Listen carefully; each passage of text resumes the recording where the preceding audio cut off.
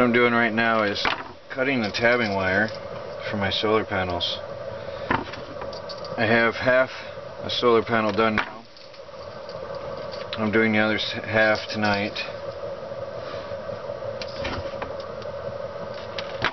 Half a solar panel is 18 cells, so I need 36 pieces of tabbing wire.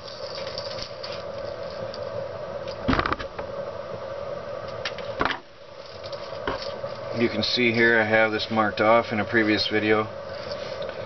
I described that.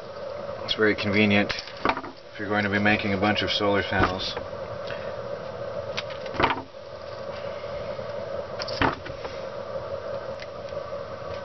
Now I've got my soldering iron heated up. Um, this is all off-grid. I'm making solar panels using off-grid power from solar panels. Sort of cool. So I, I place a weight on here. You're not supposed to touch the cells so much. So uh, I place a weight down here carefully.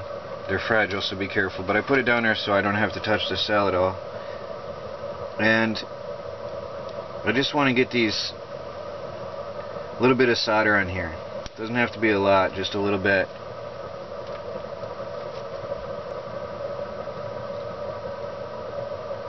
If you buy flux, you can do this even better by just putting flux on your cells. But I have a lot of solder and I have no flux, so I pre-solder my cells.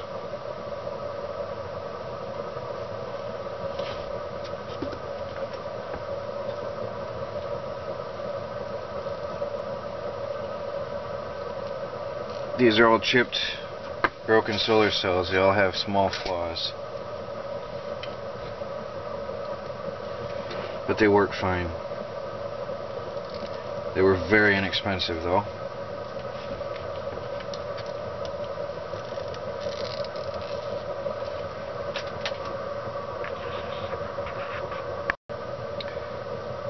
Now what I'm going to do is fasten the tabbing wire to the solar cell.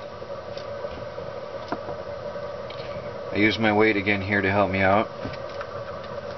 Now this tabbing wire is already pre-tinned, so it makes my job a bit easier. All I had to do was tin the cells ahead of time. And I use a little solder just to make it go smooth. It goes very fast if you use just a little bit of solder as you work. Now you don't have to. A lot of people just uh, use a flux pen and flux everything and use pre-soldered tabbing wire. Some people don't even need solder.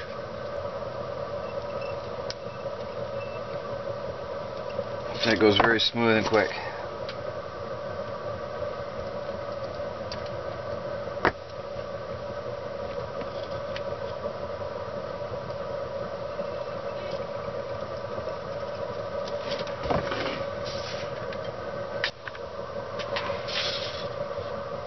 Now I'm just going to put some solder on the back side of the cell so that the tabbing wire will stick for the next step.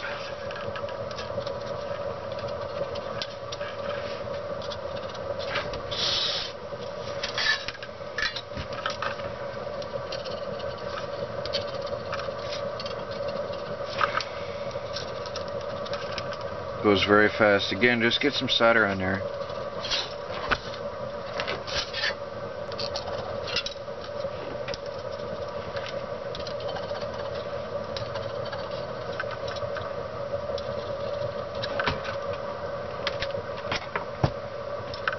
Now the next thing, make sure the camera angle is proper. This will be a little bit harder to see, but I'm going to string the cells together now in a row. And I'll zoom out.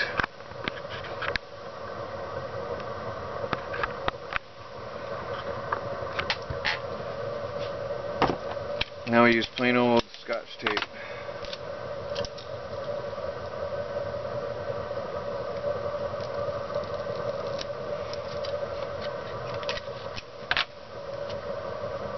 Position yourselves nicely.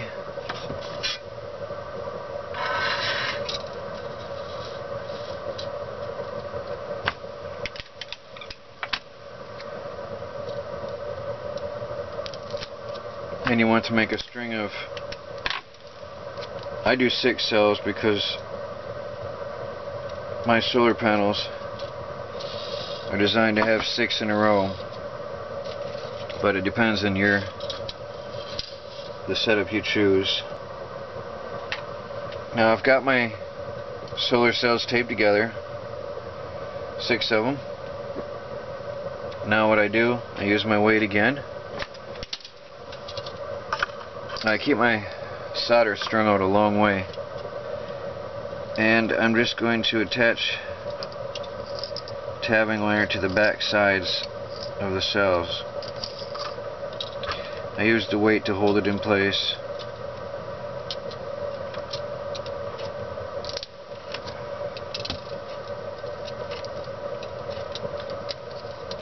now I have one left. And I'm going to cut the wire a bit shorter for this one.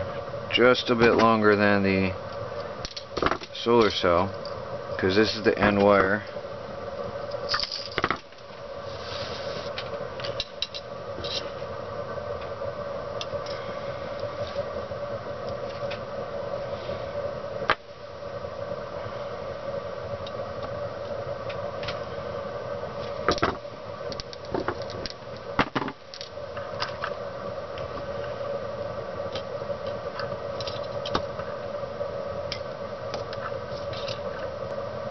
I'm putting the weight nearly right on top of the square pad that I'm soldering onto.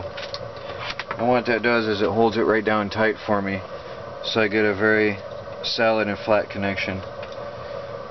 So there's another set of six. I have all of my solar cells soldered together and tomorrow I'll put them on the frame that I prepared and finish my solar panel.